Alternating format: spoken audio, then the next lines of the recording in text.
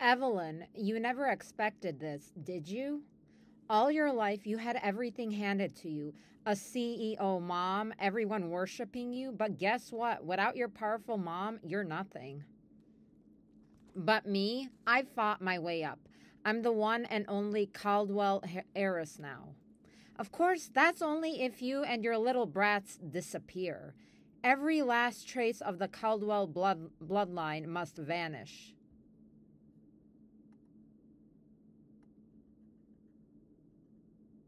Evelyn, you're as good as dead anyway, so I'll let you in on a secret. That inheritance contract was meant for you, but everyone thinks you're dead from depression, and your kids, they can all go to hell with you.